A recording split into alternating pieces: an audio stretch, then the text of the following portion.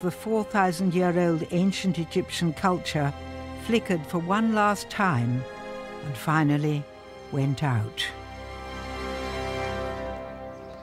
This place over here is Yes. called the Hadrian Gateway.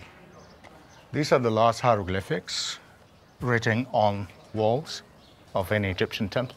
Oh, It dates back to the birthday of Osiris, 394 AD. This is the very last example of a graphic language form that had been in existence for how many years? For more than 4,000 years. That, these are the last inscriptions. Very sad, isn't it? yes. Yes. It was the end of an ancient way of life. Yet, travelling down this eternal river, I've learned there's still a link between them and us. 4,000 years ago, an Egyptian woman wrote these words. My hand is in his hand. I wander together with him to every beautiful place. My soul inspired, my heart in bliss, because we go together